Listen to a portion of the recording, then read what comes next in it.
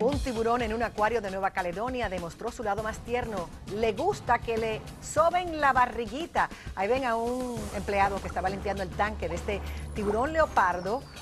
Cuando el tiburón se entregó así, pero como si fuera un bebecito para que le acariciaran la panza.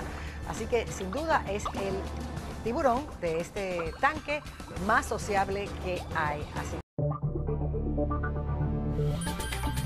Cada vez que la vida nos estremece inesperadamente, nos damos cita e investigamos para que tú estés bien informado. En Arrojo Vivo estamos conectados con nuestra comunidad, con sus necesidades y sus urgencias.